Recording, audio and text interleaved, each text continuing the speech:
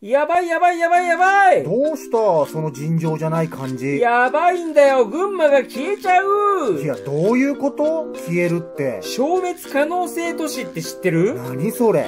簡単に言うと人口が減りまくってて、このままだと近いうちに消滅するよって自治体。何その怖いやつ？とにかくこれ見て群馬の市町村じゃん。この星マークは？